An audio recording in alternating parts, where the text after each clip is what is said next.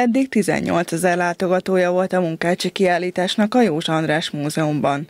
Ezt és a múzeum többi tárlatát, valamint a Kálai gyűjtemény és a múzeum falu kiállításait ezentúl 15% kedvezménnyel látogathatják a kormány tisztviselők és az állami tisztviselők egy szerdán aláírt megállapodásnak köszönhetően. Az a cél, hogy a köztisztviselők, akik nagy számban vannak itt körülöttünk és élnek a, a megyében, a városban, és a családtagokkal együtt jöjjenek, nézzék a mi kiállításunkat.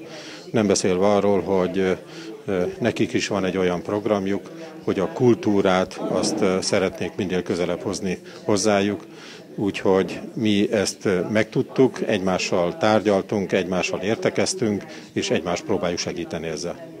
A megállapodás hosszú távra szól, ezért jövőre is érdekes programokkal készül a múzeum, úgy mint a Jégkorszak kiállítás vagy a Szóra bírt Csontjaink című antropológiai kiállítás a Természettudományi Múzeum együttműködésével. Szeptembertől egy munkácsihoz hasonló 50 festményt tartalmazó színyei mersepál kiállítást is láthatnak majd az érdeklődők. A Magyar Kormány tisztviselő és állami tisztviselői karnak 83.507 darab tagja van a szeptemberi statisztikánk szerint.